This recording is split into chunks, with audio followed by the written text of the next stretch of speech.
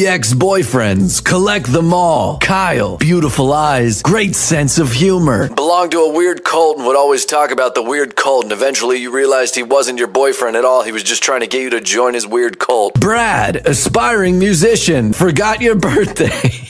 was secretly several dozen weasels in a human disguise. Chaz, unemployed, slept on an air mattress. Claimed he wasn't the Rat King, but then one night you followed him into the sewers and he sat down on a makeshift throne and a bunch of rats surrounded him and he definitely said, I am the Rat King. Mitch, never paid for you. Feared.